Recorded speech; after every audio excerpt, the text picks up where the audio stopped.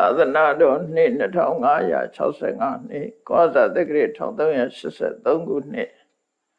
ထိုရလာပြီကျော်10ရက်2022ခုနှစ်ဖေဖော်ဝါရီလ25ရက်တောက်ကြနေ့၌အွန်လိုင်းမှာဟောကြားအပ်သောတန်တရားနှင့်နိဗ္ဗာန်အပိုင်းခွန်တရားဒေသနာတော်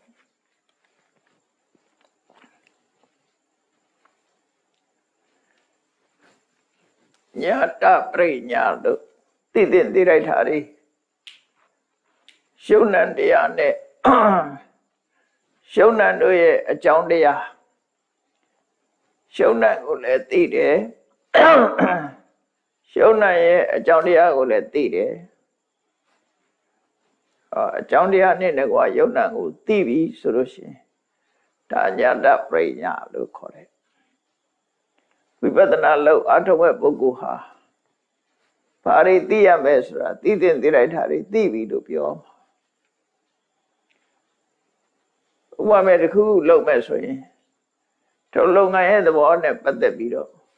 သိရမှာပဲဖြစ်တယ်ပေါ့နော်ကားမောင်းမယ်ဆိုရင်ကားမောင်းမှုရအကြောင်းအရာတွေတော်တော်သိသွားပြီဘယ်လိုစမယ်ဘယ်လိုမောင်းမယ် ယ်လို break အုပ်မယ်ဘယ်လို꿰မယ်ဘယ်လိုရက်မယ်ဆိုတာတွေကစပြီးအဲ့ဒီသိသွားတယ်လို့ပဲ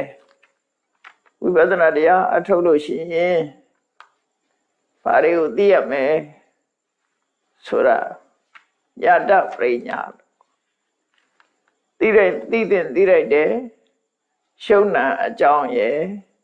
ထိုယုံနံတို့ရဲ့အကြောင်းတရားရယ်ဒီတခုဘိုင်မိုင်နေနေသိသွားပြီဆိုလို့ရှိရင်တော့ သူ့ရဲ့အမြင်ဟာမာရွေးနဲ့အမြင်နဲ့မရှိတော့ဘူးတန့်စင်သွားပြီအကြောင်းတရားတွေကိုမြင်လို့တန်တရားယုံမတန်တရားဆိုတာလည်းကင်းစင်သွားပြီကင်းစင်သွားလို့တိရဏပရိညာပိုင်းကိုစတက်တဲ့အခါမှာ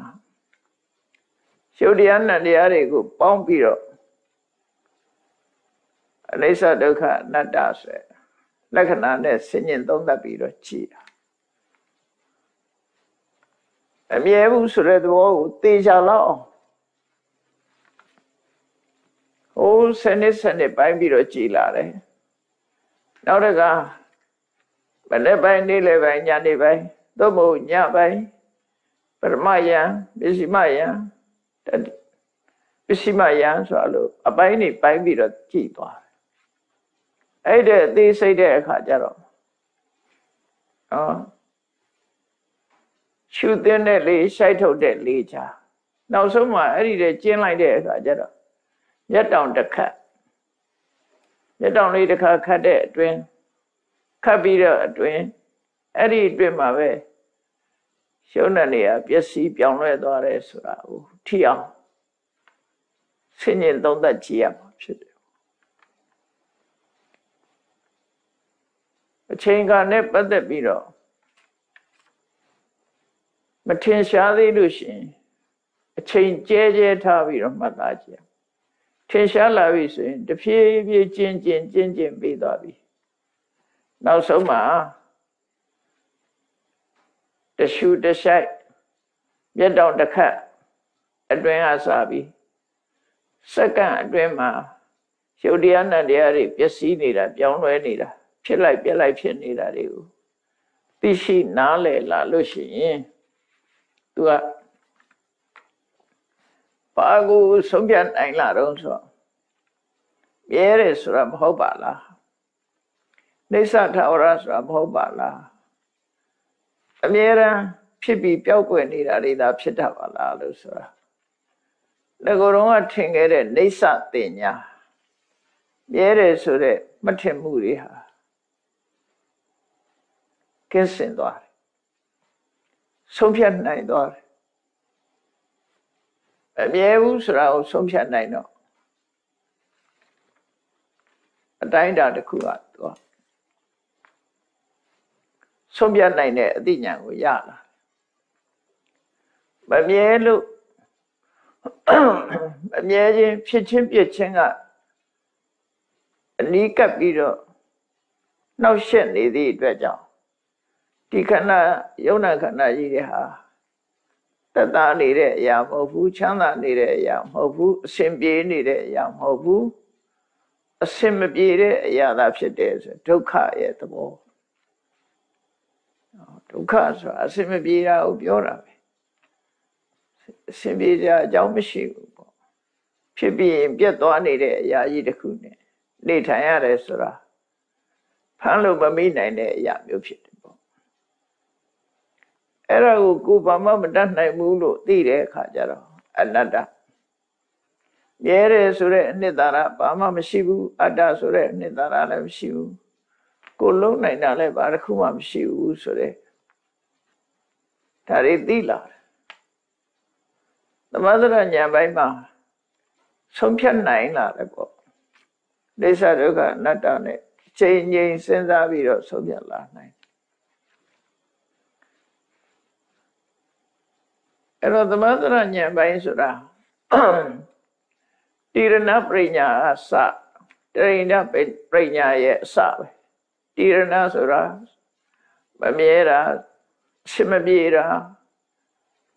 ကိုမပိုင်တာကိုဆုံးဖြတ်နိုင်စွမ်းရှိတဲ့အသိဉာဏ်ကိုဆိုပါတယ်အဲ့ဒီအသိဉာဏ်ဟာသမသနာဉာဏ်နဲ့ဥရိယဗျာဉာဏ်တို့ရဲ့နယ်ပယ်ပဲဖြစ်တယ် ပေါ့လိစ္ဆာလို့ဆင်ញင်သုံးသပ်မယ်အနတ္တလို့ဆင်ញင်သုံးသပ်မယ်အဲဒုက္ခလို့ဆင်ញင်သုံးသပ်မယ်ဆိုရယ်အဲ့ဒီလိစ္ဆာဒုက္ခအနတ္တဆိုတာကို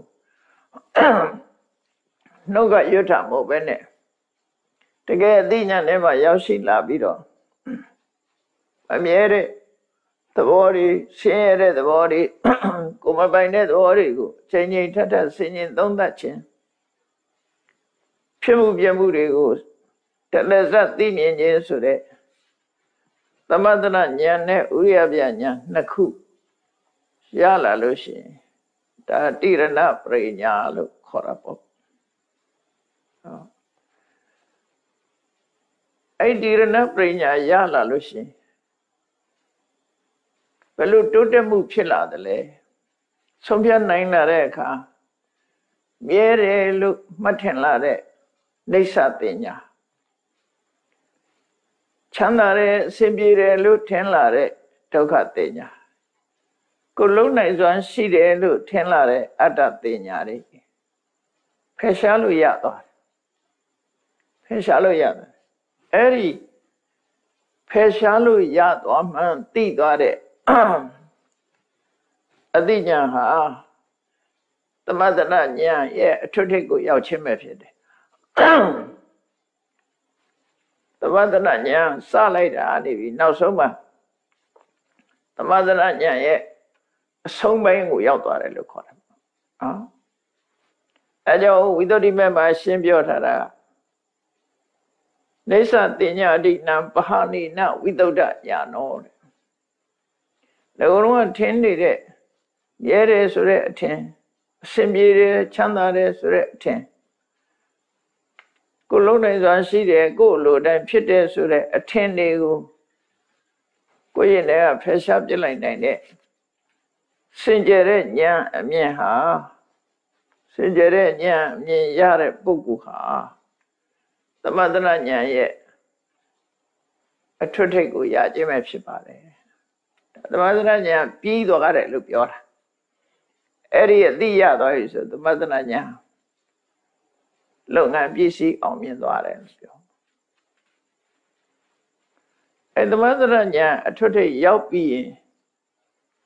ရှေ့ဆက်ပြီးပါလို့အောင်လဲသမထနာဉာဏ်ဆိုတာအလုံးခြုံငုံပြီးတော့ကလပသမဒနာလယဝိပဒနာဆိုတဲ့ခြုံငုံသုံးတတ်တာတို့အလုံးတစ်ခုနဲ့တစ်ခုဆက်ဆက်ပြီးတော့ ပေါင်းယုံပြီးတော့ဆင်ញင်တာတို့အဲ့ဒါလို့လုံလာရနေပြီးတော့အမြင်ကရှင်းတဲ့ရှင်းလာတာဖြစ်တယ်ပေါ့။ဒီကိုယ်တော်ကလွဲနေတဲ့အထင်အမြင်တွေကိုဖယ်ရှားနိုင်လာပြီဆိုတော့သမထရညာထွတ်ထိပ်ရောက်တဲ့အခါကျတော့အတိတ်တွေနာဂတ်တွေအဲ့ဒီဘက်ကိုမသွားတော့ပဲနဲ့အသိဉာဏ်ရင်းလာတဲ့အခါကျတော့ ဖြစ်ဆဲကိုပဲသိလာတယ်နော်ဖြစ်ပြီးမှသိတာမဟုတ်ပဲနဲ့ဖြစ်ဆဲပစ္စုပန်ကိုပဲသိလာဖြစ်ဆဲလို့ဆိုတဲ့နေရာမှာပစ္စုပန်ကိုဒီနေရာမှာမှတ်သားရမယ့်ပစ္စုပန်နှစ်ခုရှိတယ်ပေါ့တန်တတိပစ္စုပန်နာဖြစ်စေဆိုတာတန်တတိပစ္စုပန်နာကတစ်ခုခဏပစ္စုပန်နာဆိုတာတစ်ခုနှစ်ခုရှိတယ် ပစ္စုပန်ယုံနံကိုမှတ်တယ်မှတ်တယ်လို့ဆိုတဲ့အခါမှာဘယ်လိုပစ္စုပန်လဲဆိုတာသိဖို့တော့လိုတယ်တချို့တရားတွေကဖြစ်ခိုက်ကိုမှတ်လို့မရဘူးဥပမာဒေါသဖြစ်နေတဲ့အခိုက်ဒေါသကိုမှတ်လို့မရဘူးဖြစ်ပြီးမှပဲဒေါသအရှိန်ကိုတည်းဖြစ်ပြီးမှပဲမှတ်လို့ရလောဘဖြစ်နေတာဖြစ် ဖြစ်နေတဲ့အခိုက်လေးမှလည်းမှတ်လို့မရဘူး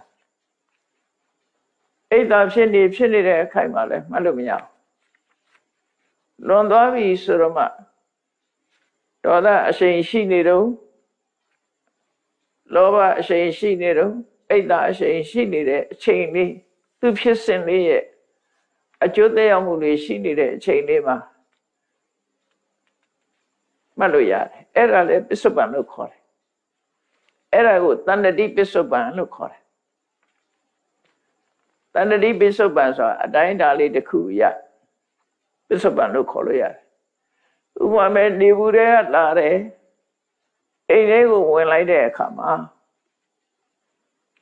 ရှုပ်တဲ့မှောင်နေတယ်မဟုတ်လားအဲ့ဒီအမှောင်လေးမပြောက်ခင်လေးကိုတန်တတိပစ္စုပန်လို့ခေါ်တယ်အဲ့ဒီအတိုင်းတာလေးတခု အဲ့စိတ်ဆိုးပြီးတော့စိတ်ဆိုးလေးနည်းနည်းရောသွားတဲ့အချိန်လေးကဒါတန်တတိပစ္စုပန်အချိန်တက်နေတော့တော့မှတ်လို့မရဘူးဒါနော်တဏ္ဍတိပိစုပန်ဆိုတာဖြစ်စဉ်လေးတစ်ခုမပြီးသေးတာဖြစ်စဉ်လေးတစ်ခုဖြစ်စဉ်လို့ဆိုတဲ့ပိစုပန်မှာဖြစ်ဆဲလို့ပြောတာမဟုတ်ဖြစ်စဉ်အရာတစ်ခုကဖြစ်စဉ်ဥပမာဆိုတော့ ထမင်းစားတယ်15မိနစ်ကြာအောင်စားတယ်ဆိုရင်စားစားတဲ့အချိန်က15မိနစ်ထိအောင်စားနေတာဒါဖြစ်စဉ်တစ်ခုပဲလေဖြစ်စဉ်တစ်ခုအဲ့ဒီလိုဖြစ်စဉ်တန်တတိပစ္စုပန်ကိုလည်းပစ္စုပန်လို့ပဲခေါ်တယ်ဒီနေရာမှာဖြစ်စဉ်တစ်ခုအနေနဲ့မှတ်ရမှာဖြစ်တယ်နောက်တစ်ခုကခဏပစ္စုပန်ဆိုတာကြတော့ တကယ်ကိုဖြစ်စေအဲ့ဒါကြတော့ဟောရှုပ်ဆိုရင်မှတ်လို့ရတယ်ဥပမာနားတွေကအတန်ကြားရင်ကြားကြားချင်းမှတ်လို့ရမျက်စိကအစင်းကိုမြင်မြင်မြင်ချင်းမှတ်လို့ရ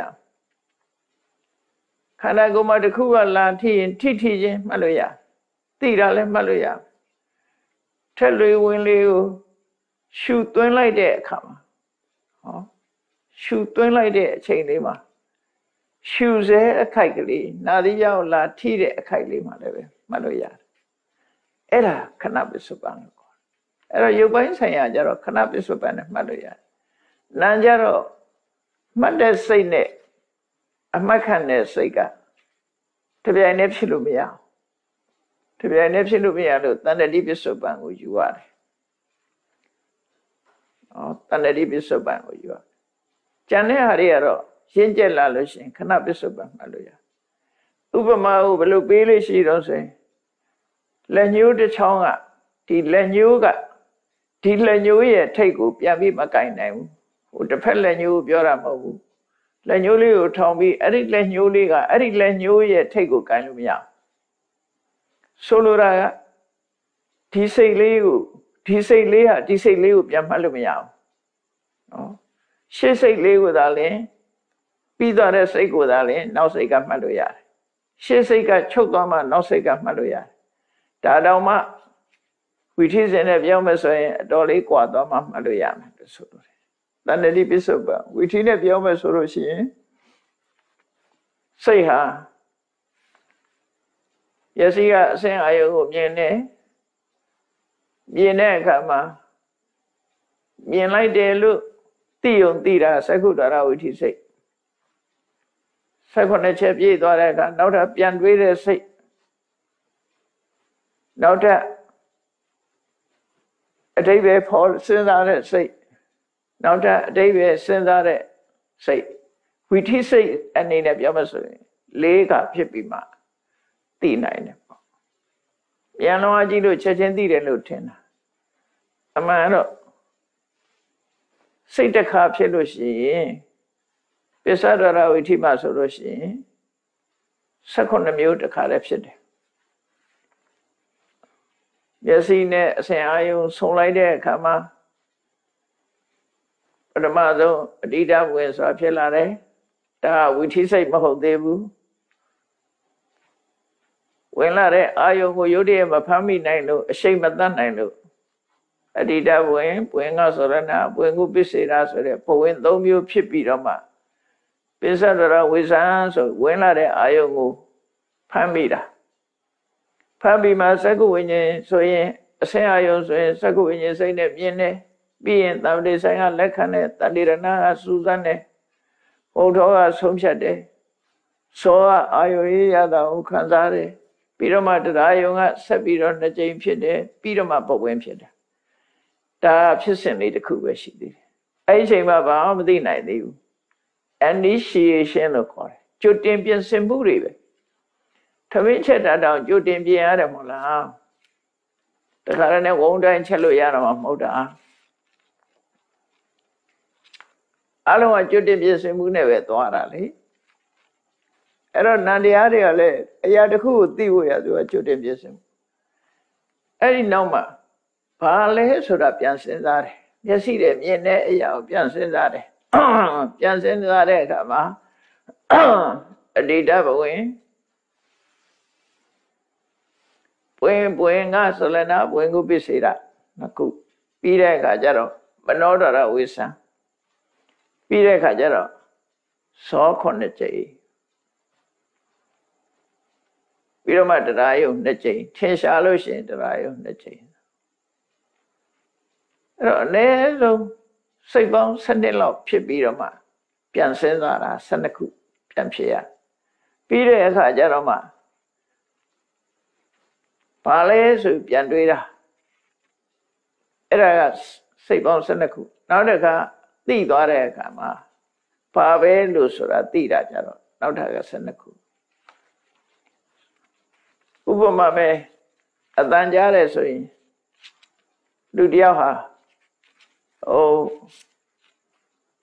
တယောက်ကပြောလိုက်တယ်ပေါ့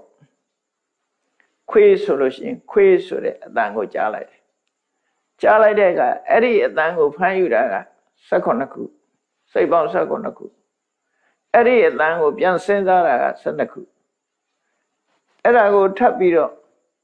အတိတ်ပဲဖော်တာက12ခုခွေးဆိုတာအော်ဒီလိုကောင်းပဲလို့သိသွားတာက12ခု တတ္တံပထမစိတ်တေနတိတံဒုတိယစိတ်တတာနာမတတိယစိတ်တေနအထံသရုဒ္ဓစိတ်တတာလို့အချင်းချင်းရေးထားတာရှိတယ်အတန်ကိုပထမစိတ်နဲ့သိတယ်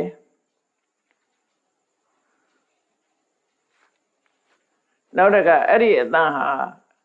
ပျောက်သွားပြီးတဲ့အခါမှာသိတဲ့အခါကျတော့အတိတ်အတိတ်ဖြစ်သွားတယ်ပစ္စုပန်အတန်ကို ပထမစိတ်နဲ့သိတယ်ပထမစိတ်ဆိုတာပထမဝီထိစိတ်ကိုပြောတာစိတ်တစ်ခုတည်းမဟုတ်ဘူးကြားသိတဲ့စိတ်တွေကတစ်ခုတည်းမဟုတ်ဘူးအလုံး၁၉ခုရှိတယ်အဲ့တော့ပထမဆုံးကြားလိုက်တဲ့အတန်ကိုအပြုတဲ့စိတ်ကသောတတော်ဝိထိစိတ်လို့ခေါ်တယ်အဲ့သောတတော်ဝိထိစိတ်ရဲ့နောက်ကနေလိုက်ပြီးတော့ဒုတိယအကြိမ်သိတာကြတော့အတိတ်ကိုစဉ်းစားတဲ့စိတ်ဖြစ်သွားတယ် ခုနကခွေးလို့ပြောလိုက်တဲ့အတန်းဟာအတိတ်ဖြစ်သွားပြီအဲ့ဒီအတိတ်ကိုပြန်စဉ်းစားနောက်တစ်ခါဒီစကလုံးကိုမှတ်တာကတတိယအတိတ်ပဲကိုသိတာကြတော့စတုထာအဲ့ဒီမဲ့ကိုမသိတဲ့စကလုံးဆိုလို့ရှိရင်တော့ဘာပြောတာပါလိမ့်ဘာပြောတာပါလိမ့်နဲ့မဆုံးဖြတ်နိုင်မယ်နဲ့ရှေ့ဆက်တွေ့ဦးမှာပဲနော်ကိုသိမှ ကိုသိတဲ့အရာမှသာဖြစ်တာအတန်လေးတစ်ခုကြားလိုက်တာ ਨੇ ကိုသိပြီးသားအရာဆိုရင်လေးစိတ်လေးစိတ်ဖြစ်ချိန်လေးချိန်နဲ့သိသွားတယ်ကိုမသိဘူးဆိုလို့ရှိရင်အချိန်မောများစွာဖြစ်နေမှာပဲဘာပါလိတ်ဘာပါလိတ်ဆိုရယ်ဘေးကွန်းနေနဲ့သွားနေဦးမှာပဲအဲ့တော့အဲ့ဒီဖြစ်စဉ်တစ်ခု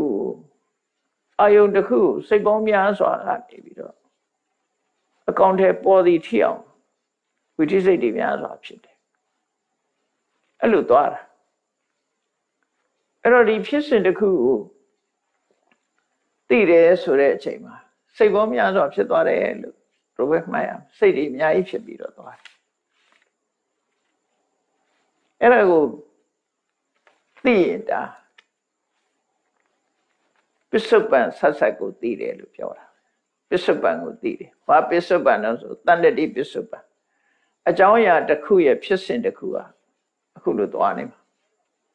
နောက်ထပ်ဖြစ်စဉ်တစ်ခုမကူသေးဘူးဒါအတန်ကိုစဉ်းစားနေတာရုပ်ကိုစဉ်းစားနေရင်ဒါဖြစ်စဉ်တစ်ခုအစဉ်အယုံကိုမြင်လိုက်လို့ရှိရင်လည်းဖြစ်စဉ်တစ်ခုအတန်ကြားလိုက်ရင်လည်းဖြစ်စဉ်တစ်ခုအနံ့ရလိုက်ရင်လည်းဖြစ်စဉ်တစ်ခုနော်အရသာတွေးလိုက်ရင်လည်းဖြစ်စဉ်တစ်ခု ကိုယ်ကာယနဲ့ထိနေတဲ့ဆိုရင်လည်းဖြစ်စဉ်တစ်ခုစိတ်ထဲကအကြောင်းအရာတစ်ခုတွေးတယ်ဆိုရင်လည်းဖြစ်စဉ်တစ်ခုပဲအဲ့ဒီဖြစ်စဉ်တစ်ခုဖြစ်ပြနေတဲ့အရာရဲ့ဖြစ်မှုပြက်မှုလေးကိုသိပြီဆိုလို့ရှိရင်ဒါပစ္စုပန်သိတယ်လို့ခေါ်တယ်အဲ့တော့ဥရိယပြဉာဏ်ဆိုတာပစ္စုပန်နနံဓမ္မနံဝိပရိနာမနုပတနိပညာဥရိယပြ နုပတနိဉာဏံနဲ့ဥရိယပြဉာဏ်ဆိုတာဖြစ်စေယုံနံတရားတို့ရဲ့ပြောင်းလဲသွားတာကိုကြည့်ရှုနိုင်တယ်ဟောနားရဲကကြားလိုက်တဲ့အတန်လေးဟာပျောက်ကွယ်သွားတာလေးကိုသတိထားလိုက်တယ်ကြားပြီးပျောက်ကွယ်သွားတာလေးကိုသတိထားလိုက်တယ်မျက်စိထဲကအဆင်းအာရုံလေးမြင်လိုက်ပြီးတော့ပျောက်ကွယ်သွားတာကိုသတိထားတယ် အဲ့တော့နားရဲဟာတော့ပျောက်ကွယ်တာမြန်ပိုသိတာတယ်နှာခေါင်းထဲကအနံ့လေးရပြီးပြီးပျောက်ကွယ်သွားတာရဲ့လျှာကအရသာလေးပေါ်ပေါ်ချင်းပြီးပျောက်တယ်ပျောက်ကွယ်သွားတာရဲ့ခန္ဓာကိုယ်ကထိပြီးသိလိုက်တာလေးပျောက်ကွယ်သွားတာရဲ့အဲ့လိုဖြစ်စေတရားတွေရဲ့ပျောက်ကွယ်ပြောင်းလဲသွားတဲ့မမြဲတဲ့သဘောတရားကိုရှုမြင်တဲ့ဉာဏ်ကိုဥရိယပြဉာဏ်လို့ခေါ်တယ် ဥဒယဆိုတာဖြစ်ပေါ်လာခြင်းဝယဆိုတာပျောက်ကွယ်ပျက်စီးသွားခြင်းလို့ဆိုတယ်အဲ့ဒါကိုဆိုလို့အဲ့တော့ပစ္စုပန်နံဓမ္မနာပစ္စုပန်တရားဆိုဘယ်ဟာကိုပြောရတော့ဆိုခုနပြောတဲ့တန်တတိပစ္စုပန်နဲ့ခဏပစ္စုပန်နှစ်ခုခဏပစ္စုပန်ဆိုတာဖြစ်ခိုက်ကလေးသိဖြစ်စဉ်ကိုသိတာဖြစ်ခိုက်ကလေးကိုသိတာ ဒီဒီပစ္စုပန်နှစ်ခုကိုယူအောင်ရှင်းကြလာလို့ရှိရင်ခဏပစ္စုပန်အနေနဲ့သိနိုင်တယ်ပေါ့နော်အဲ့တော့ဒီသမထနာဉာဏ်ရဲ့အထွတ်ထိပ်ရောက်သွားတဲ့ပုဂ္ဂိုလ်ဟာပြစ္ဆုတ်ပံဖြစ်စေယုံနာတွေကိုသိလာသည့်အတွက်ကြောင့်သူဟာဥရိယပြဉာဏ်ဆိုတဲ့အဆင့်ကိုရလာဗျာအသိဉာဏ်ဆိုတာတိုးတိုးလာတာပဲဒီတိုင်းပဲနော် တတိထားကြည့်မှသိနိုင်တယ်အသိဉာဏ်တိုးတက်လာ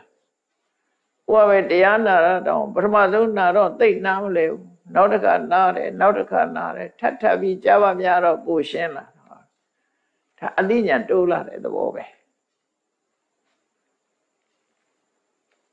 တော့မလုပ်ဘဲနေရင်တော့မတိုးဘူးသူမစင်စားဘဲနေလည်းမတိုးဒါကြောင့်မို့အသိဉာဏ်ဆိုတာတဖြည်းဖြည်းတက်လာတက်လာ သမထဉာဏ်အဆင့်ကကျော်လာတဲ့အခါကျတော့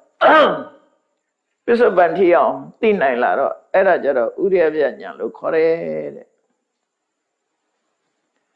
တဏ္ဍတိပစ္စုပန်နေခဏပစ္စုပန်နေဝါဓမ္မေဥရိယဗျတဒနာညာနေနဆို တဏ္ဍတိပစ္စုပန်ခဏပစ္စုပန်အနေထားမှာရှိတဲ့တရားတွေကိုတရားတွေရဲ့ဖြစ်ပေါ်လာမှုပျက်စီးသွားမှုကိုသိတာဟာဥရိယဗျညာလို့ခေါ်ပါတယ်ဒါဖြစ်စာလေးဆိုရင်ဥရိယပြညာလည်းအာမရှိသေးဘူးအဲ့တော့ဖြစ်တယ်ဆိုတာဘာပြောတာတော့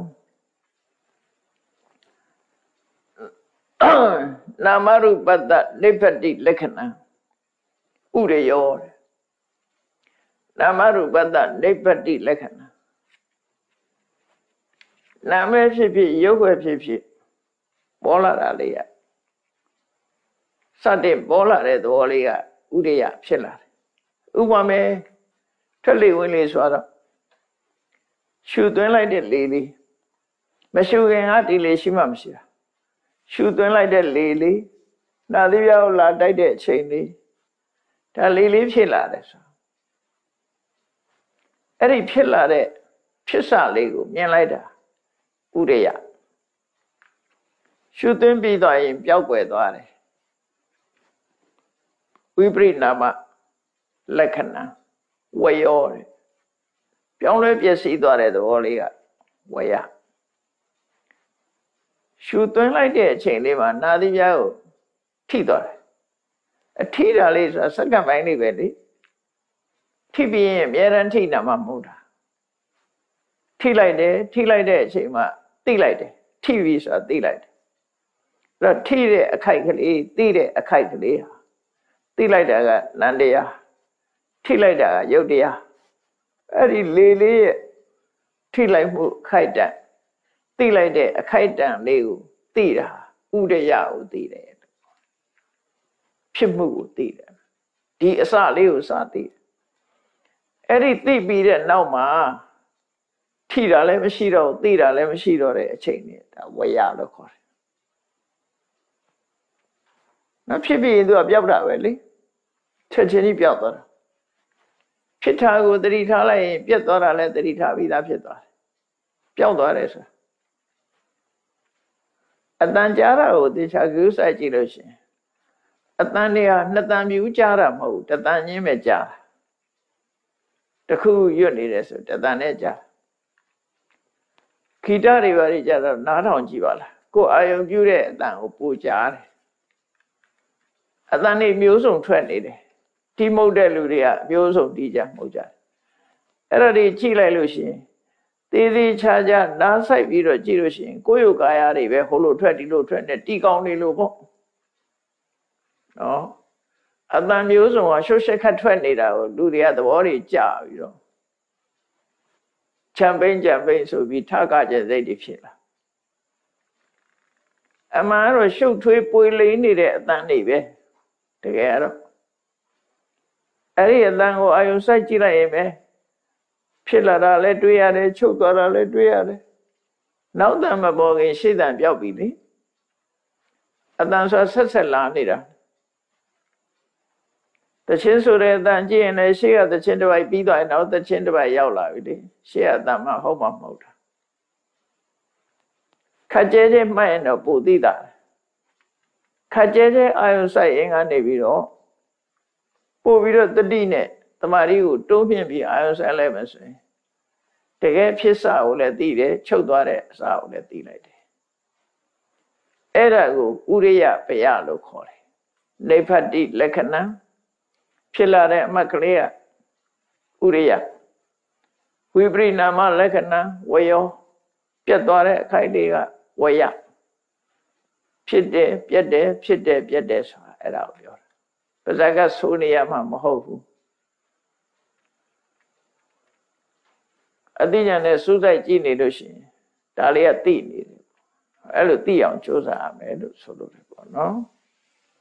အဲ့ဒါဥရိယဗျဉာဏ်ဆိုတာ ရှင်းတတ်ပြီးတော့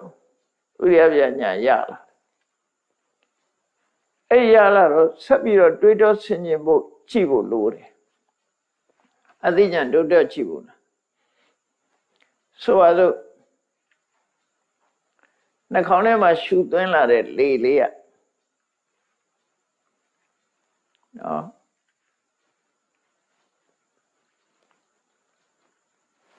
အပြင်မှာရှိတဲ့လေဆိုတော့ အကုန်လုံးကိုရှူသွင်းတာမဟုတ်ဘူးအနိနာမှာရှိတဲ့လေလေးကိုရှူသွင်းလိုက်တယ်ရှူသွင်းလိုက်လို့လေလေးကနေထိသွားတယ်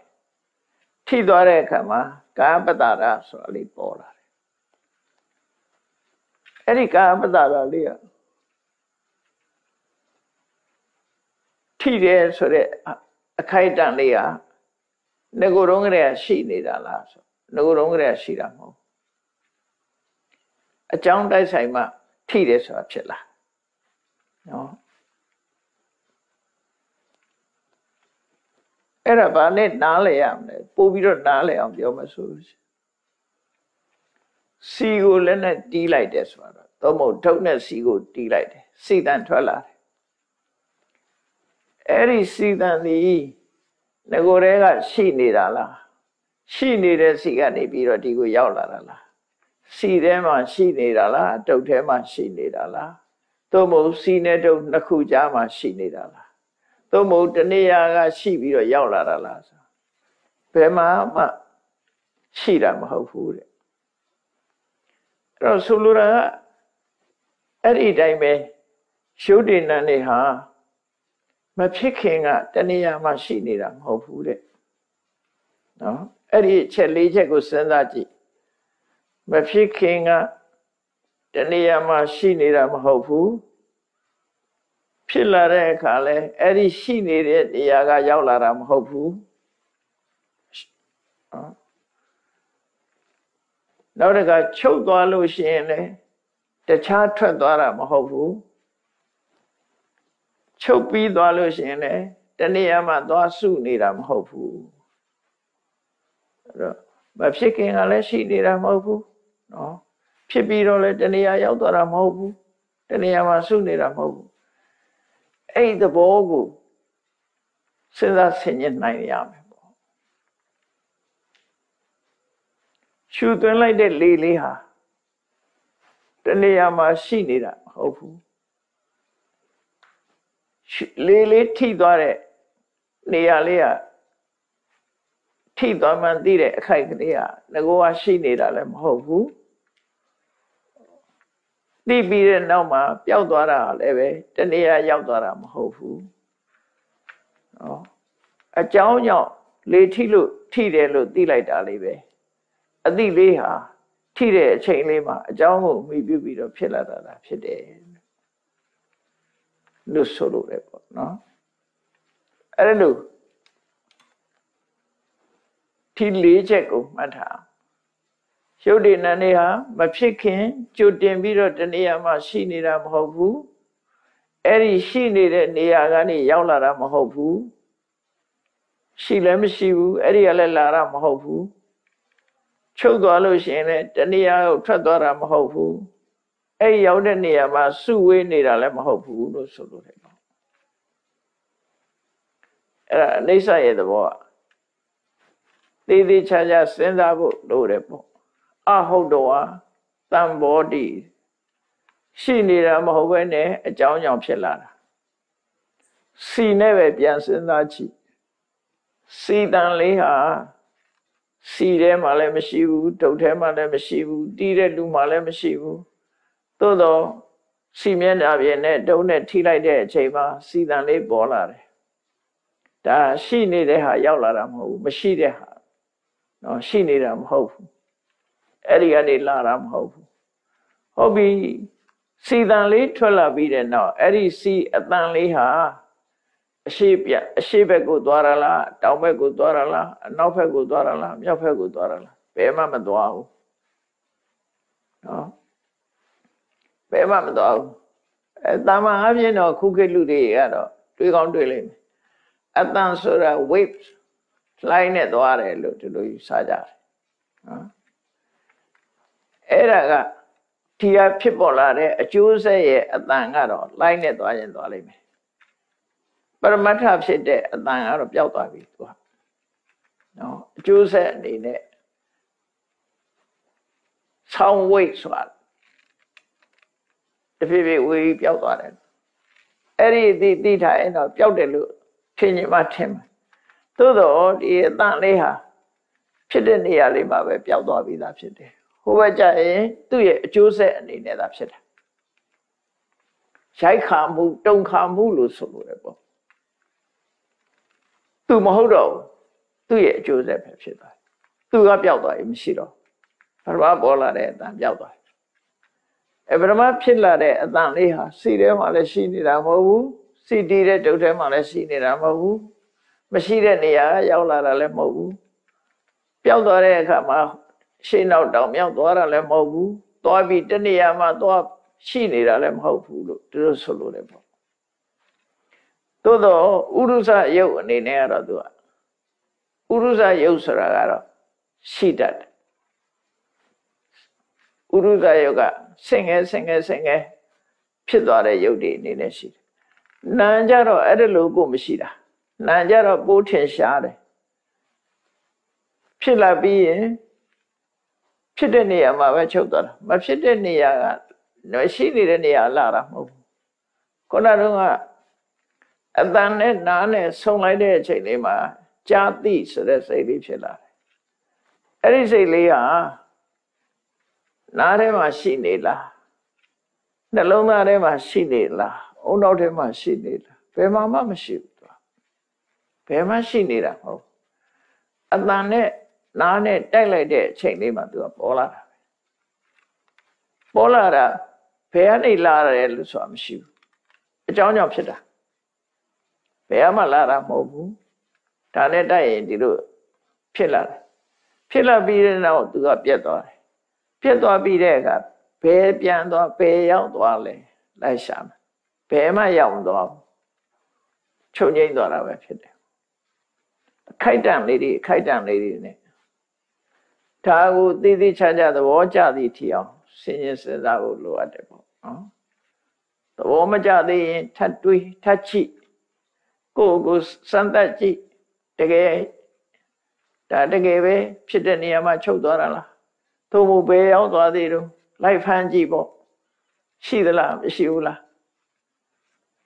ကိုယ်တဏ္ဍမှာဖြစ်တဲ့စိတ်လေးတွေအဲ့ဒါလို့လေးလာသုံးသပ်နေတာဒါတရားထုတ်နေတာပဲလေကြာရင်အသိဉာဏ်ပို့ဖို့ရှင်းလာ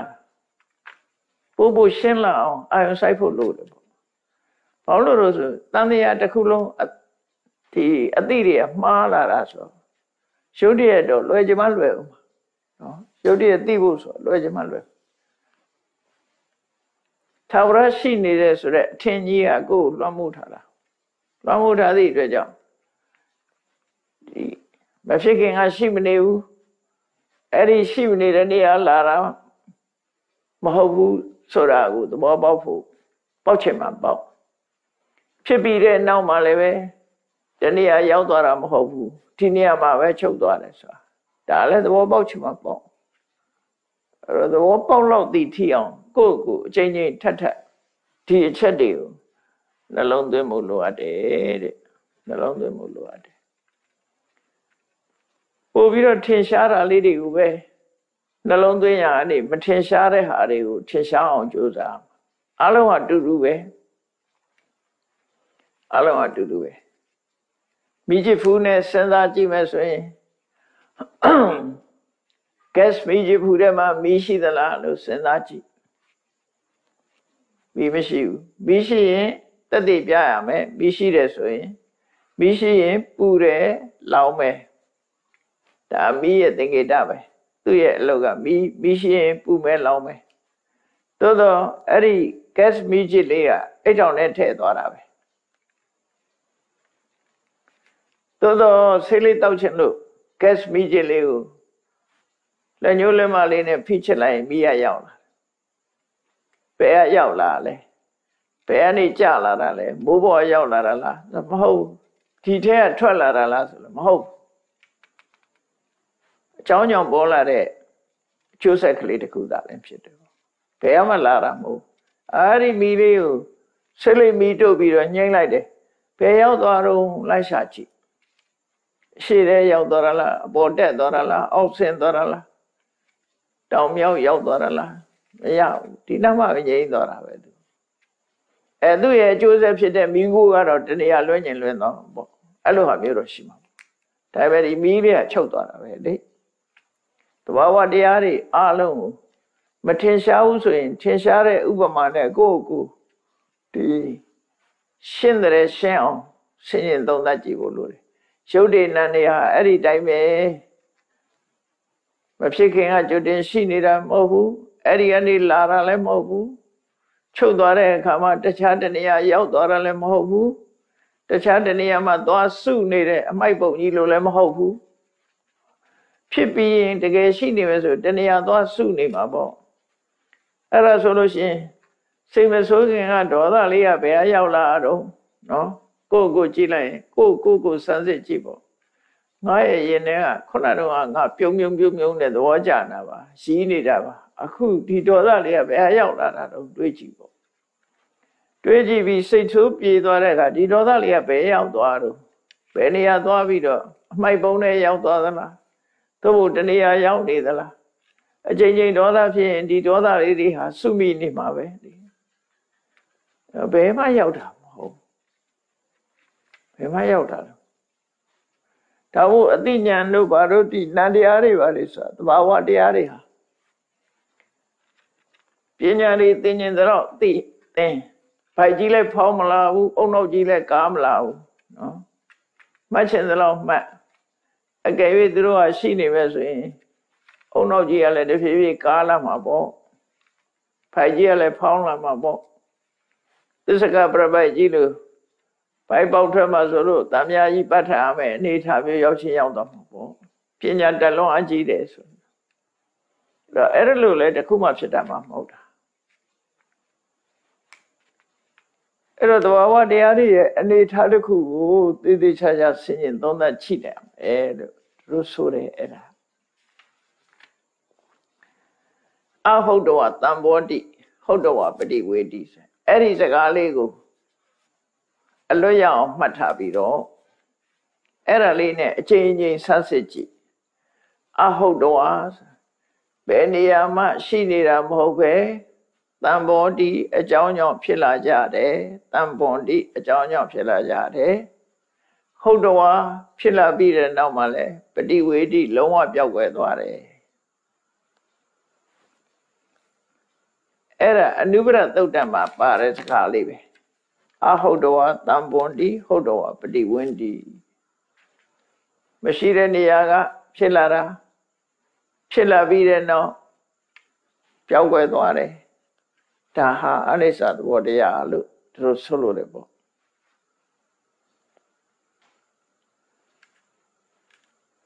အဲ့တော့ဖြစ်မှုပြက်မှုကို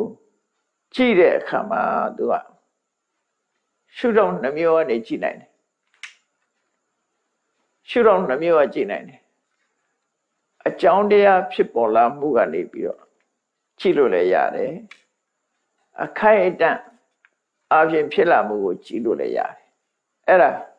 ပစ္စယတော်ဥရိယဘေယဓသနာခဏတော်ဥရိယဘေယဓသနာပစ္စယတော်ဆိုတာဆရာအကြောင်းကိုကြည့်လိုက်တယ်ဆိုပါစို့လူတယောက်စိတ်ဆိုးတယ်ဆိုတာစိ တ်ဆိုးတယ်ဆိုတာ तू ဘယ်လိုကြောင့်စိတ်ဆိုးတာတော့ဆိုတယောက်ကသူ့ကိုလာပြောတယ်မင်းရဲ့အတင်းတွေကိုဘသူတွေကဒီလိုပြောနေတယ်သူမပြောဒီတန်မကြားခင်ကသူစိတ်မဆိုးဘူးမင်းအတင်းကိုသူကပြောတယ်လို့လည်းကြားလိုက်ရောဒေါသဖြစ်လာအဲ့တော့အကြောင်းတရားဖြစ်လာတာကိုမြင်ပြီးတော့သူ့ရဲ့ဒေါသဖြစ်လာတာတွေ့ရတယ်ပစ္စယတော့အဲ့ဒေါသလေးကဖြစ်ပြီးတော့ ဖြစ်စဒေါသလေးကလည်းသူ့သူပြောက်သွားတာပြီးတော့နောက်ဆက်ဆက်ဆက်ဆက်ဆက်ဆက်ဖြစ်တာတစ်ခုနဲ့တစ်ခုအချိန်ပေါင်းများစွာဆက်ပြီးတော့ဖြစ်တာအဲ့ဒါအကြောင်းဖြစ်လာလို့သဘာဝတရားဖြစ်လာမှုကိုမြင်တာတစ်ခုခဏတော့ဆိုဖြစ်နေတဲ့အခိုက်ကလေးကိုကြည့်တာဒေါသဖြစ်လာတဲ့အခိုက်ကလေးဒေါသဖြစ်ခြင်းအကြောင်းကိုကြည့်တယ်ဒေါသဖြစ်တဲ့အခိုက်ကလေးကိုကြည့်တယ် အဲ့ဒီနှစ်ခုအပြင်ဖြစ်မှုပြမှုကိုတွေ့နိုင်ပါတယ်ကိုယ်တဏ္ဍမှာဖြစ်ပြနေတဲ့ယုံနာတရားတွေကိုတွေ့နိုင်ပါတယ်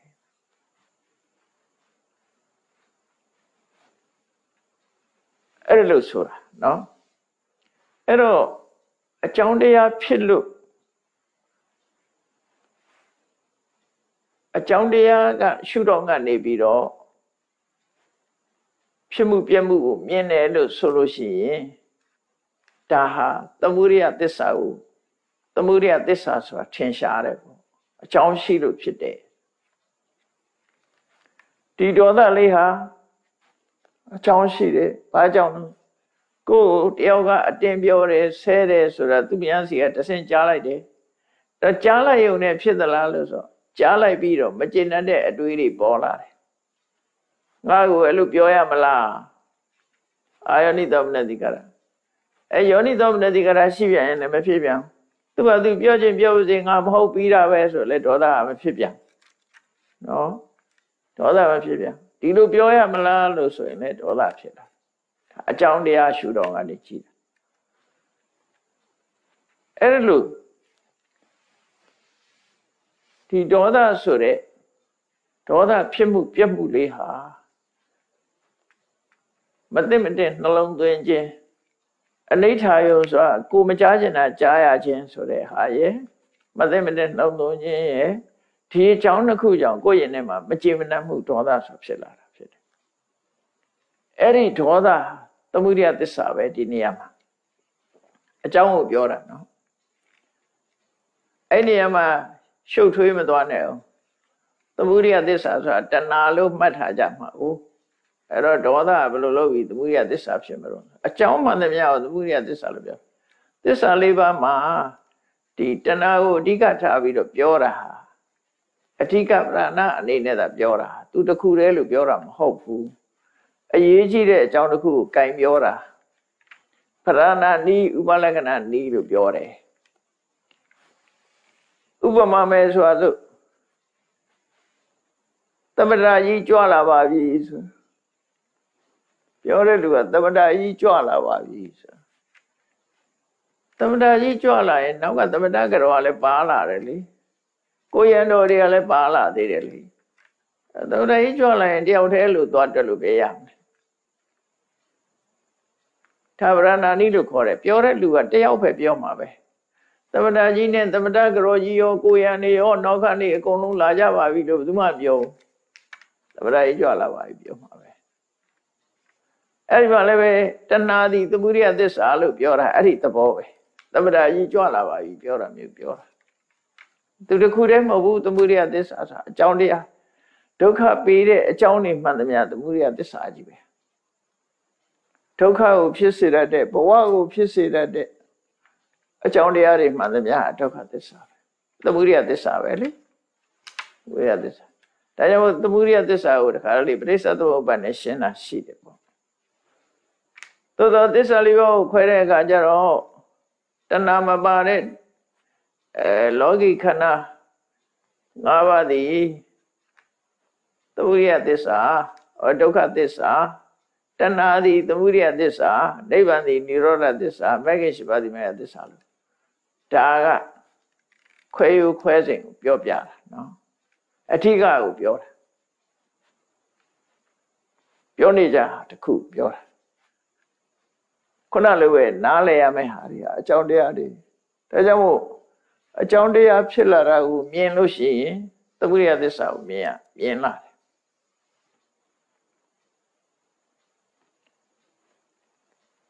အဲ့ဒီဖြစ်ခိုက်ကလေးကိုကြည့်မဲ့ဆိုလို့ရှိရင်ကတော့တဲ့ဒုက္ခသစ္စာကိုမြင်တာဖြစ်တယ်ဘာလို့လို့ဆိုရင်ဖြစ်လာတာကဒုက္ခပဲဖြစ်တာပဲလေဥပမာပဲဒေါသလေးဖြစ်လာတယ် အဲ့ဒေါသလေးဟာဖြစ်ခြင်းရဲ့အကြောင်းတရားကသမုဒိယဖြစ်လာတဲ့ဒေါသလေးကဒုက္ခပဲလေလို့ဆိုလို့တယ်ပေါ့ဒုက္ခသစ္စာအဲ့ဒါကြောင့်မို့အကြောင်းရှုတော့ကနေမြင်တာရှိတယ်အကျိုးရှုတော့အဲခဏရှုတော့ကနေမြင်တာရှိတယ်ဒါကအကြောင်းရှုတော့ကနေချုပ်ငိမ့်သွားတာကိုမြင်လိုက်လို့ရှိရင်និရောဓသစ္စာကိုမြင်တာဖြစ်တယ်និရောဓဆိုတာ ရှုံးတဲ့တရားသင်္ခါရအလုံးရဲ့ချုပ်ခြင်းပဲကိုဒေါသလေးချုပ်ငိမ့်သွားတာမြင်လိုက်ရင်လည်းនិရောဓသစ္စာကိုမြင်တယ်လို့သူပြောရမှာအဲ့ဒီမှာဖြစ်လာတာတို့ပြက်တာတို့မြင်တာကမေဃသစ္စာကိုမြင်တယ်လို့ဒီလိုဆိုလို့တယ်ပေါ့မြင်တဲ့ဉာဏ်ဟာမေဃသစ္စာလို့ဆိုလို့တယ်ပေါ့အဲ့တော့ဒီဥရိယပြဉာဏ်နဲ့ယုံတဲ့တရားတွေကိုမြင်တာဟာလည်းပဲ တကယ်အဖြစ်သစ္စာလေးပါးပေါ်ထွက်နေတာပဲဖြစ်တယ်ပေါ့အဲ့တော့သစ္စာလေးပါးဆိုတာလေဝိပဿနာတရားအထုတ်ဖို့ဟဟောထားတာပဲလေမြတ်စွာဘုရားဝိပဿနာအထုတ်တဲ့အခါမှာမေဃသစ္စာဆိုတဲ့အသိဉာဏ်နဲ့ဒုက္ခသစ္စာကိုရှုရမယ်ဒုက္ခသစ္စာကိုရှုလိုက်တဲ့အခါនិရောဓဆိုတဲ့နိဗ္ဗာန်ကိုအာရုံပြုပြီးတော့ သမုဒိယကိုပယ်တာပဲဒါအကျဉ်းဆုံးဝိပဿနာအဲ့ဒါဒါဝိပဿနာရှုရင်ဘာကိုရှုရမှာတော့မေးဒုက္ခသစ္စာကိုရှုရမှာလို့ပဲပြောဒုက္ခသစ္စာအကျိုးအနေနဲ့ဒုက္ခသစ္စာဒုက္ခသစ္စာကိုရှုရအဲ့တော့ဒုက္ခသစ္စာရှုတော့ပါအရာမတုံးဆိုဒုက္ခသစ္စာပေါ်မှာတွေ့တာနေတဲ့တဏှာကိုဖယ်နိုင်တယ် ဒုက္ခကိုဒုက္ခထင်နေတဲ့တဏှာဖယ်နိုင်တယ်တဏှာကင်းသွားတဲ့အခါအကြောင်းချုပ်လို့အကျိုးချုပ်သွားတဲ့ဒုက္ခချုပ်ငြိမ်းသွားတဲ့និရောဓဆိုတဲ့နိဗ္ဗာန်ကိုသိတယ်ဟောသစ္စာလေးပါးမှာအလုံးလုံးတဲ့သစ္စာကမေဃသစ္စာပဲမေဃသစ္စာကဒုက္ခသစ္စာကိုသူကဒုက္ခသစ္စာပေါ်မှာမေဃသစ္စာအလုံးလုံးတာမေဃသစ္စာကအလုံးလုံးတာ ဒုက္ခသစ္စာကအလုံးလုံးရဌာနရှားရှိလာတဲ့ယလကတဏှာကိုသမုဒိယသစ္စာကိုဖယ်ခြင်းနဲ့និရောဓကိုစိုက်ထီခြင်းပဲဒါယလအလုံးတစ်ခုလုံးတဲ့အခါမှာနော်အာယုဆိုင်ရတာတစ်ခုယလကတစ်ခုသူတို့ဆိုလိုတယ်ပေါ့နော်သူကလည်းသူရ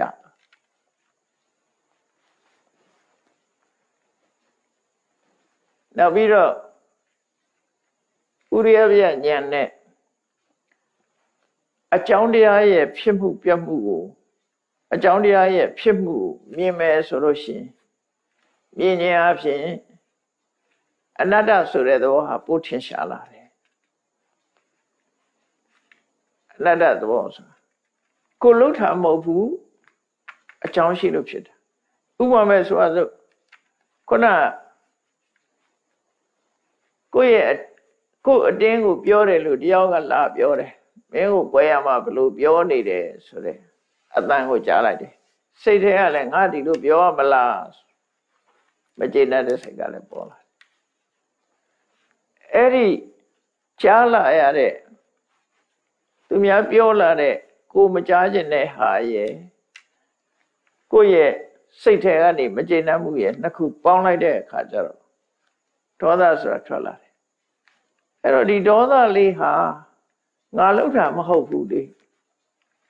ငါလောက်တာမဟုတ်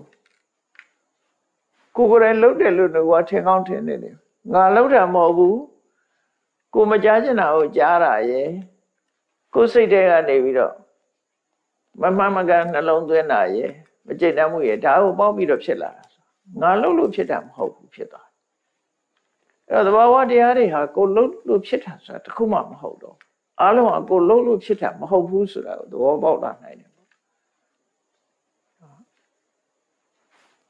ကိုလှုပ်လို့ဖြစ်တယ်ဆိုတာလက်မခံနိုင်တော့မဟုတ်ဘူးသူဆိုင်ရာအကြောင်းကလှုပ်တာကိုလှုပ်တာမဟုတ်ဆိုင်ရာအကြောင်းကြောင့်ဖြစ်တာငါဒါမကြားခင်ကဒေါသမဖြစ်ဘူးအခုကြားမှဖြစ်တယ်အဲ့ဒါကြားခြင်းဟာအကြောင်းတရားပဲ စိတ်ထဲမှာမကြည်ဘူးနဲ့တွေးတယ်အဲ့ဒီတွေးခြင်းဟာအကြောင်းတရားပဲအဲ့ဒါငါလှုပ်တာလားဆိုတော့မဟုတ်ဘူးဒီအကြောင်းတရားတွေကလှုပ်သွားတာလို့ဒီလိုစဉ်းစားဖို့လိုတယ်ဒါကြောင့်အကြောင်းတရားတွေကြောင့်လှုပ်တာမို့ငါလှုပ်တာမဟုတ်ဘူးလို့ဆိုရင် အနတ္တလက္ခဏာထင်ရှားလာတယ်တဲ့ကိုလုံးနိုင်တယ်ကာရကဝိရကအတ္တဆိုတာကာရကဝိရကကိုလုံးတယ် ဒါကြောင့်မို့ဒါနဲ့ပတ်သက်ပြီးပြောထားတာရှိတယ်လေကမ္မတကာရကောနတ္ထိဝိပါကတ္တသဝေရကောကုသကအဟုသကလုံးတဲ့လူဆိုတာမရှိဘူးအကျိုးတရားကိုခံစားတယ်ဆိုတဲ့လူလည်းမရှိဘူးနော်အကြောင်းပေါ်တာကိုပဲကံတရားကိုပြုလုပ်တယ်လို့ပြောတာအကျိုးတရားပေါ်တာကိုပဲခံစားတယ်လို့ပြောတာတဲ့ဒါအလွန်ရှင်းတယ် ကမ္မတကာရကောနတ္ထိ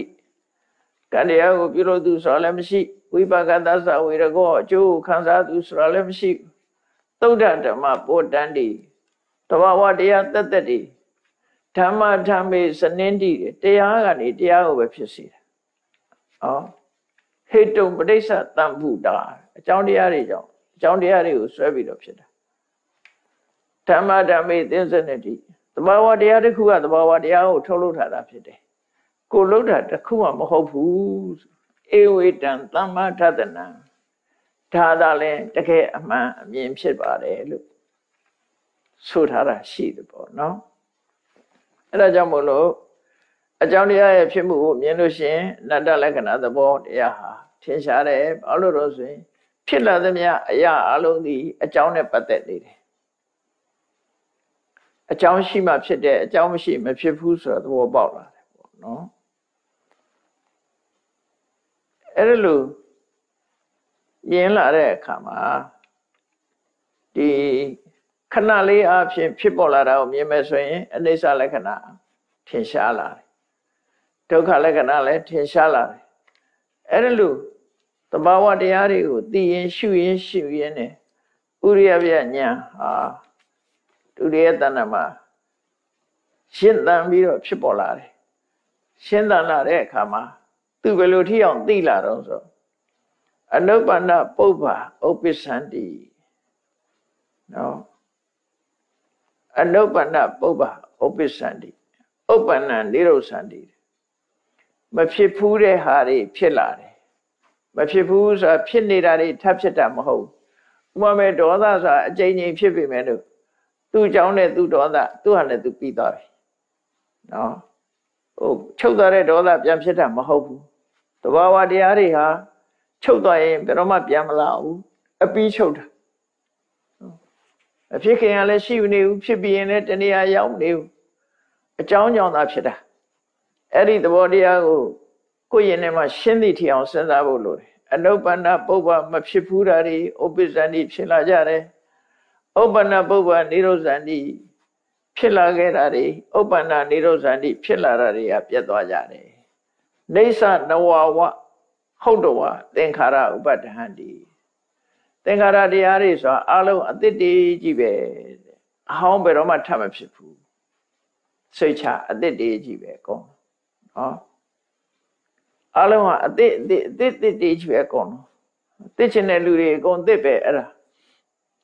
ဒါပေမဲ့အကောင်းတွေကြီးတော့မဟုတ်ဘူးအသစ်အသစ်တွေသုံးနေရပါမယ်လို့အကောင်းတော့မဟုတ်ဘူးအဲ့ဒီအသစ်ကဟောင်းရှူရင်းယူရင်းပြီးတော့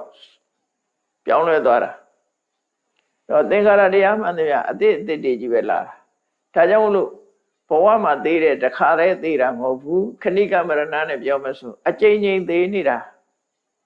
လူတွေရဲ့ခန္ဓာကိုယ်မှာရှိတဲ့ယုတ်တည်နံတွေဟာအကျဉ်းချင်းပျက်စီးနေတာ ပျက်စီးသွားတာတွေကဘယ်တော့ပြန်လာတော့ဘယ်တော့မှပြန်မလာတခါတည်းသွားတာတခါတည်းသွားတာပြန်ယူလို့မရအောင်သွားတာကိုယ့်အကိုဟေးလို့អော်ကြည့်ပါလားအဲ့ဒီအတန်လေးကိုဖမ်းထားလိုက်ဖမ်းလက်နဲ့ဖမ်းလို့မရဘူးသွားပြီနောက်ထပ်တစ်ခါထပ်អော်နောက်တန်မဲ့ထွက်မယ်အဲ့တော့ဆိုလိုတာကအားလုံးဟာအဲ့ဒီတိုင်ပဲအသစ်အသစ်အသစ်အသစ်ဒီကြီးပဲအကုန်လုံးလာတယ် အသစ်လာတာဟာအသစ်အကြောင်းနဲ့အသစ်သူ့အတူလာတာသူ့အကြောင်းနဲ့သူလာကြတာအစုံလိုက်အစုံလိုက်လာတာနောက်ဖြစ်တာတွေကနောက်နောက်လာတာဒါကြောင့်မို့နေသနဝဝဟုတ်တော်အသင်္ခါရဥပဋ္ဌာန်တည်သင်္ခါရတရားတွေဟာအမြဲတမ်းအသေးသေးကြီးပဲလာနေတာပါတဲ့ပျက်စီးမဲ့တရားသည်သာလည်းဖြစ်လာတာပါတဲ့သာဝရတည်မဲ့တရားဆိုမဖြစ်ပါဘူးနော်ဖြစ်လာတဲ့တရားမှန်သမျှလည်းပြတ်သွားတာပါပဲတဲ့ အဲ့ဒီလိုဖြစ်မှုပြတ်မှုတွေကိုရှုမှတ်နိုင်တဲ့ဉာဏ်ကိုရပြီဆိုရင်တရုဏဝိပဿနာလို့ခေါ်တယ်ဝိပဿနာဉာဏ်အနုစားလေးတော့ရသွားပြီအဲ့ဒါလောက်သိလာလို့ရှင်ဟောဒါဝိပဿနာဉာဏ်မရင်သေးဘူးအဲ့တော့တရားထုတ်တယ်ဆိုတော့လွယ်လွယ်လေးတော့မဟုတ်ဘူးပေါ့လွယ်လွယ်လေးတော့မရနိုင်ဘူးဘာလို့မရနိုင်တာတော့ဆိုအဝတ်တစ်ခုဖြူစင်အောင်ဖို့တဲ့တော့လွယ်လွယ်လေးနဲ့မှဖို့လို့မရတာနော် လွယ်လွယ်လေးနဲ့မဟုတ်ဘူးဘယ်ရာမှလွယ်လွယ်နဲ့ဖြစ်မှာမဟုတ်ဘူးအချိန်ပေါင်းမြောက်များစွာညှဉ်းနှွမ်းနေတဲ့အရာဖြစ်လို့အဲ့ဒီလိုသိတဲ့အသိဉာဏ်တောင်မှပဲတရုဏဝိပဿနာဉာဏ်လို့ခေါ်တယ်ရှေ့ပိုင်းမှာဖြစ်မှုပြက်မှုလေးတွေကိုစသိလာတဲ့ဝဝိပဿနာဉာဏ်အနုစာလေးစပြီးတော့ဖြစ်ပါတယ်တဲ့အဲ့ဒီအနုစာလေးဖြစ်နေတာကိုပဲသူ့ကိုအာရဒဝိပဿကာတဲ့ ဝိပဿနာလမ်းကြောင်းပေါ်တက်ပြီးဝိပဿနာတရားအထုတ်နေတဲ့ယောဂီလို့ခေါ်လိုက်ပါပြီလို့ဆိုလို့တယ်အဲ့ဒီဉာဏ်ရမှဝိပဿနာယောဂီလို့ခေါ်တယ်နော်ဒီအဆင့်ရောက်မှဝိပဿနာတရားအထုတ်နေသူလို့ပြောလို့ရမယ်ဝိပဿနာဉာဏ်ရနေတဲ့ပုဂ္ဂိုလ်လို့ပြောလို့ရမယ်အာရဒဝိပဿကောပြည့်စုံစေရသောဝိပဿနာဉာဏ်ရှိသူအထုတ်နေသောဝိပဿနာဉာဏ်ရှိသူ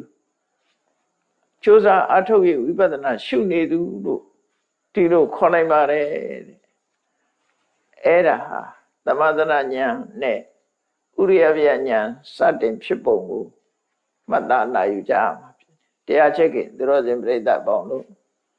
နိဗ္ဗာန်သွားဖို့ရာအတွက်ရှုံးတဲ့တရားတွေကိုခုလိုအစဉ်စဉ်သိရှိနားလည်အောင်လုပ်ပြီးနိဗ္ဗာန်ကိုသွားရမှာဖြစ်တယ်ဒီလမ်းကြောင်းကမသွားပဲနဲ့ တခြားနေ့နဲ့နိဗ္ဗာန်ဆိုတာမရနိုင်ဘူးဒီလမ်းစဉ်တိုင်းသွားမှနိဗ္ဗာန်ဆိုတာရောက်မယ်လို့ကိုယ်စီကိုယ်စီမှတ်သားပြီးကြိုးစားအားထုတ်နိုင်ကြပါစေကုန်သတည်း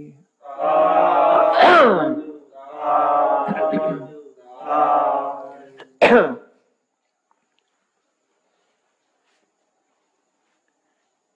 က်ချရအောင်အရှင်ဖေယအရှင်ဘုရားဘုရားတို့တော်တို့သည်ဘုရားတွင်တော်တို့သည်ဓမ္မအသိဉာဏ်ဓမ္မအသိဉာဏ်ရရှိမှသာလျှင်သာရှိမှသာလျှင်နိဗ္ဗာန်ချမ်းသာကိုနိဗ္ဗာန်ချမ်းသာကိုမျက်မှောက်ပြုနိုင်ပါသောကြောင့်မျက်မှောက်ပြုနိုင်ပါသောကြောင့်ဓမ္မအသိဉာဏ်ဓမ္မအသိဉာဏ်ရရှိစေရန်သာရှိစေရန်ရှိတန်ကြလျက်သံဃာလျက်ဓမ္မသဘင်ဓမ္မတကရေဆင်းကျင်ပါစေတေပါပြုလုပ်ကြပြုလုပ်ကြ၍အမ၍တဒါနာအမတဒါနာဓမ္မဒါနာဓမ္မဒါနာတရားလူတော်ကိုဘုရားလူတော်ကိုပေးလူကြပါကုန်၏မေလူကြပါကုန်၏တရားတော်မြတ်ကိုတရားတော်မြတ်ကိုယုတိလေးမြတ်စွာယုတိတိမြတ်စွာမမတ်သာသာမမတ်သာသာအာယုထားလျက်အာယုထားလျက်နာကြကြပါကုန်၏နာကြကြပါကုန်၏တရားတော်မြတ်ကိုတရားတော်မြတ်ကိုတတ္တဗဝတ္ထုသတ္တဝဝတ္ထုအစုစုတို့ဖြင့်သုစုတို့ဖြင့်ပူဇော်ကြပါကုန်၏ပူဇော်ကြပါကုန်ယနေ့ယခု၏ယနေ့ယခုအာထုတ်ပြုလုပ်ကြရသောအာထုပြုလုပ်ကြရသောဤကောင်းမှု ဤကောင်းမှုဤကုသိုလ်စုစုသည်ဤကုသိုလ်စုစုသည်နိဗ္ဗာန်ချမ်းသာနိဗ္ဗာန်ချမ်းသာ၏၏အကြောင်းထောက်ပံ့အကြောင်းကောင်းပံဖြစ်ပါစေတည်းဖြစ်ပါစေသတဤည်းကောင်းမှုဤ၏ကောင်းမှု၏ဖို့ဘာကကိုအဖို့ပါကကိုအမိအဖာအမိယပါအဖို့အဖွာအဖို့အပွားဆရာသမားမစဆရာ၍သမားမဆာကဘာသူကဘာသာ၍အာရောသာကုဏပြမဘုရားမြတ်မှာတတ္တဝါများတို့အားသတ္တဝါများတို့အားအမြအမြအမြအမြဝေငှပါကုန်ဝေ၏ငါပါကုန်ကုသိုလ်အမြ၏ကုသိုလ်အမြကိုယ်စီရကြကုန်သည်ဖြစ်ကို၍ရာရာကုန်ပြီဖြစ်ကိုယ်စိတ်နှဖျား၍ကိုယ်စိတ်နှပြချမ်းသာကြသည်ချမ်းသာကြသည်ဖြစ်ကြပါစေကုန်သတည်းဖြစ်ကြပါစေကုန်သတည်းအာလုံးဇာကြရမြအမြ အမြအမြယောမူရာဘာဂုလောသာဓုသာ